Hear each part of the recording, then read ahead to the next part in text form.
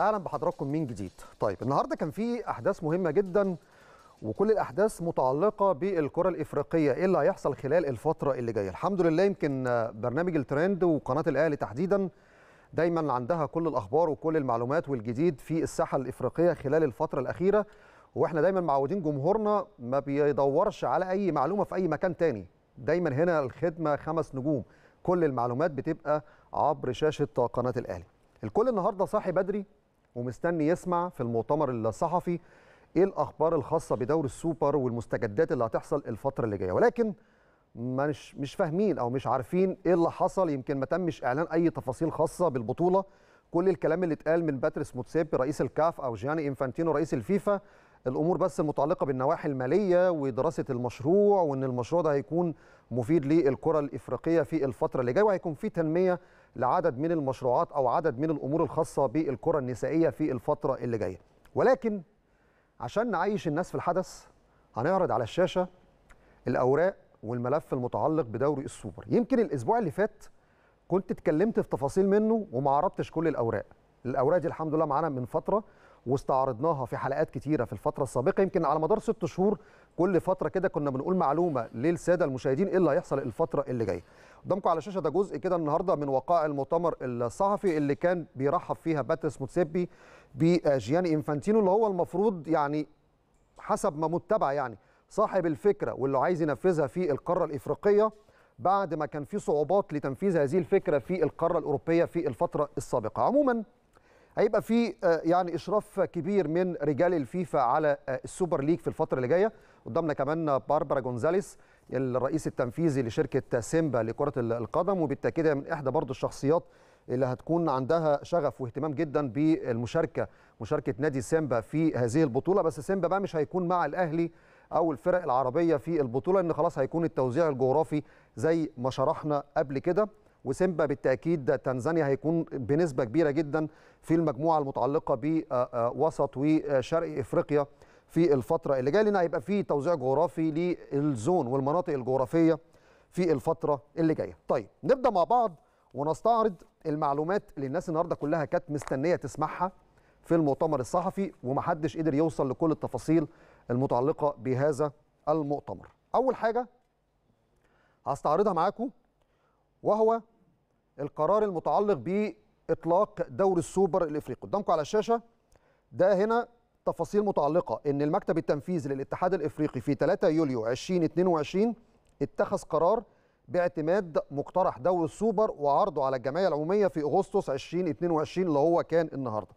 طيب انطلاق دوري السوبر يوم أو في شهر أغسطس 2023 بمجموع جوائز 100 مليون دولار والفائز يحصل على 11 مليون و600 ألف دولار طيب كل اتحاد في القارة الإفريقية وعددهم 54 اتحاد كل اتحاد هياخد مليون دولار كدعم وإعانة مادية بسبب هذه البطولة.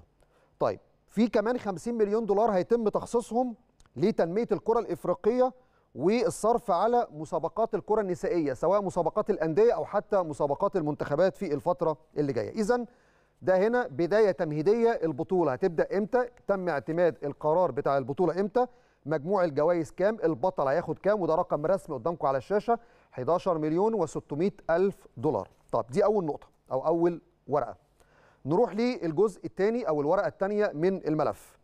بنتكلم على الشكل التنظيمي أو الهيكل لدوري السوبر الإفريقي هيتلعب إزاي. عدد الأندية ال format الخاصة بالبطولة ديت 24 نادي. الحد الأقصى لمشاركة كل نادي من دولة واحدة لا يزيد عن ثلاث أندية. عدد الأندية اللي هتكون موجودة في كل مجموعة لا تزيد عن 8 أندية. عدد الدول أو عدد ال... إحنا قلنا عدد الأندية اللي هتشارك من كل دولة لا يزيد عن ثلاث أندية. ولكن عدد الدول اللي هتشارك في البطولة أو في المجموعة لا تقل في كل مجموعة عن أربع دول. يعني الحد الأدنى لتواجد الدول في كل مجموعة أقل حاجة أربع دول. ممكن بقى يبقوا أربعة خمسة ستة ما عندناش مشاكل لكن ما يقلوش عن أربع دول. وفي نفس الوقت أي دولة هتشارك أنديتها في المجموعة ما تزيدش عدد الأندية عن ثلاثة يعني مثال المغرب حاليا في التصنيف في الرجاء والوداد ونهضة بركان هم الأعلى. فبالتالي ما فيش نادي رابع مغربي يخش في نفس المجموعة. أقصى حاجة ثلاثة طيب البطولة هتتلعب على مدار 10 شهور من شهر 8 لشهر 5 بإجمالي 197 مباراة. ماكسيمم أقصى عدد مباريات للفريق اللي هيوصل المباراه النهائيه 21 مباراة. وده معناه إن نهائي دوري السوبر هتكون مباراة واحدة. مش لقاء ذهاب وعودة. هتبقى مباراة واحدة ودي الأزمة اللي إحنا عشناها في دوري أبطال إفريقيا في السنوات الأخيرة. لكن الكاف عدل وخلى دوري الأبطال النسخة اللي جاية الأخيرة. ذهاب وعودة لكن هيرجع بعد كده لدوري السوبر. هيبقى النهائي مباراة واحدة. عدد الدول اللي هتشارك في الثلاث مجموعات لا يزيد بحد أقصى عن 16 دولة. بمعنى صح ان عندنا ثلاث مجموعات. لو كل مجموعة هيشارك فيها من خمس لأربع دول فاحنا بنتكلم كده مثلا في حوالي 16 دولة أو 14 دولة لكن الحد الأدنى في المجموعات الثلاثه من 12 والحد الأقصى 16 دولة العدد المتابعين أو المهتمين بدور السوبر كقيمة تقديرية لن يقل عن 850 مليون متابع أو 850 مليون مشاهد في الفترة اللي جاية. طب نروح بقى لل format المتعلق بدور السوبر الإفريقي، إيه اللي هيحصل؟ قدامكم على الشاشة دلوقتي هيتعرض format دوري السوبر الإفريقي، 24 نادي هيتقسموا على ثلاث مجموعات، مجموعة شمال إفريقيا 8 أندية وشمال افريقيا هنا أنا بتكلم على مصر، ليبيا، تونس، الجزائر، المغرب. خمس دول بس في شمال إفريقيا. السودان هتبقى شرق إفريقيا موريتانيا غرب إفريقيا. فبالتالي شمال إفريقيا خمس دول. المجموعة الأولى دي مجموعة شمال إفريقيا. المجموعة الثانية اللي جنبها دي مجموعة وسط وجنوب إفريقيا. المجموعة الثالثه هتبقى شرق وغرب إفريقيا. هيتم توزيع النطاق الجغرافي على حسب الكاف ما يوزعه إزاي بس هيبقى بنفس الشكل ده في الثلاث مجموعات. قلت لكم أربع دول كحد أدنى وثلاث أندية من كل دولة كحد أقصى. طيب نظام التأهل إزاي؟ خمس أندية من كل مجموعة هيبقوا 15 نادي أفضل سادس هيكمل عدد الفرق يبقى 16 نادي ويبدأ دور ال 16 طب دور المجموعات إحنا بنتكلم كل مجموعة فيها 8 أندية. هيلعبوا مع بعض بنظام الذهاب والإياب. يعني كل فريق هيلعب 14 مباراة سبعة على أرضه وسبعة خارج أرضه. نفترض شمال إفريقيا فيها مثلا الرجاء الوداد نهضة بركان والأهلي والزمالك والترجي. هيبقى في فريق جزائري والكاف ليه الحق إن هو يختار فريق ثامن في كل مجموعة.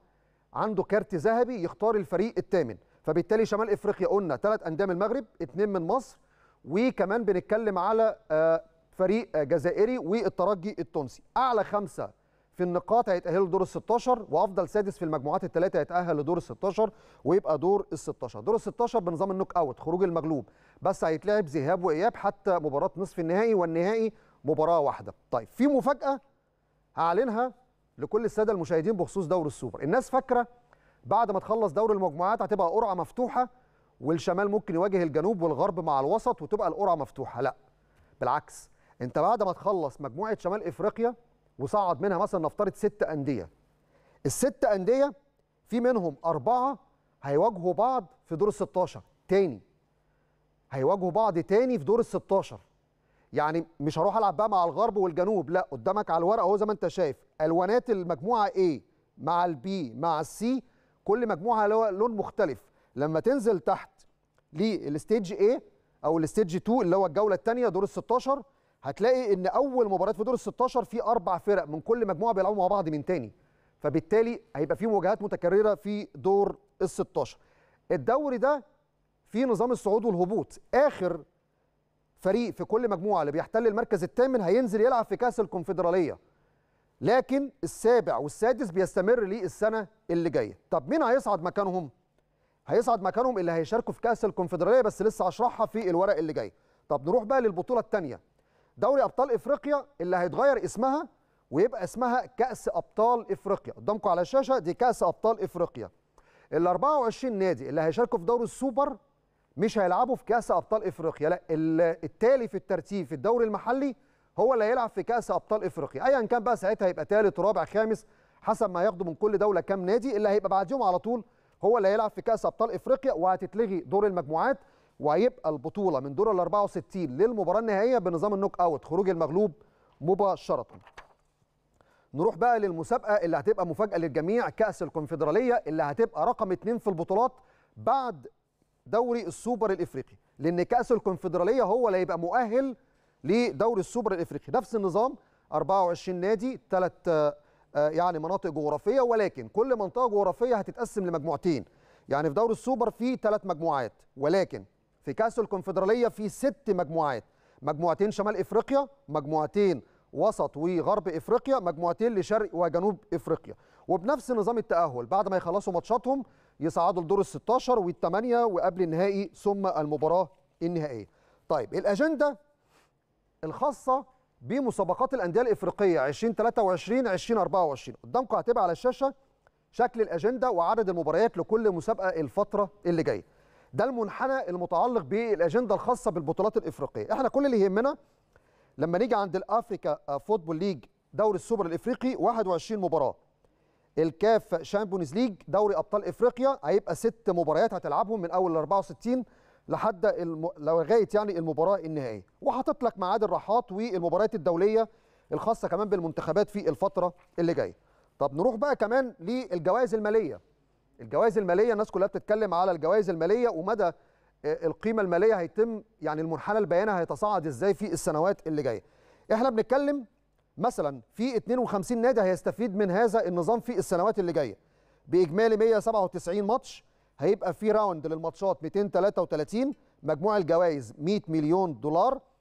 الحد الأدنى من الجوائز للاتحادات بنتكلم من 13 ونص ل 54 مليون لأن المليون دولار مش هيتوزع بالتساوي لكل الاتحادات. وفي 50 مليون دولار رايحة للتطوير وتنمية الكرة النسائية في الفترة اللي جاية. وبيديك هنا منحنى البطولة لما تبدأ في 2023 وتوصل ل 2024 قيمة الجوائز وعدد المباريات ممكن يبقى قيمته كام في الفترة اللي جاية. طيب نروح كمان بقى للمقارنة ما بين مسابقات إفريقيا مع مسابقات أمريكا الجنوبية والويفا الاتحاد الأوروبي وأيضا كمان الاتحاد الأسيوي. خدوا بالكم هنا وبيقولوا إيه؟ بالنسبة لدوري أبطال إفريقيا البطل بياخد 2.5 مليون دولار تمام؟ مجموع الجوائز إحنا بنتكلم في 12.5 مليون دولار. لما تلعب دوري السوبر البطل هياخد 11 مليون 600 شوفوا الفرق قد إيه بنتكلم في حوالي 9 مليون زيادة. ومجموع الجوائز 100 مليون.